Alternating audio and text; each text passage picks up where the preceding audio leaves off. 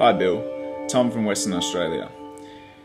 If quantum entanglement or quantum spookiness can allow us to transmit information instantaneously, that is, faster than the speed of light, how do you think this could, dare I say it, change the world? Tom, I love you, man. Thanks for the uh, tip of the hat there, the turn of phrase. Uh, will quantum entanglement change the world? If this turns out to be a real thing, uh, well, or if we can um, take advantage of it, seems to me the first thing that will change is computing. We'll be able to make uh, computers that work extraordinarily fast.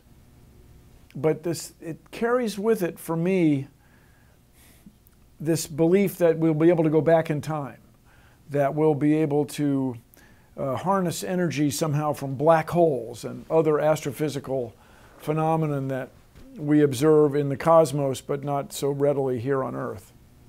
We'll see.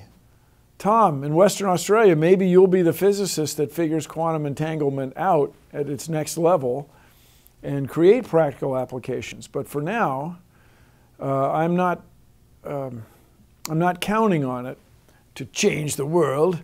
However, I am counting on all of us to continue to explore, to continue to build particle accelerators, to continue to observe the cosmos, to continue to fund basic research.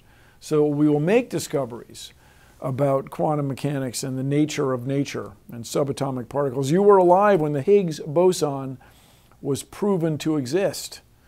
You were alive when uh, Italian researchers thought they had found a phenomenon that was faster than light, but it wasn't. But uh, it has led to further explorations. And so now people wonder about the next thing in subatomic, in particle physics below the Higgs boson. And if that is discovered, who knows where it'll lead? But uh, it is only through basic research that we will learn about the extraordinarily small and the extraordinarily huge. Fabulous question, Tom. Carry on. Lead the world.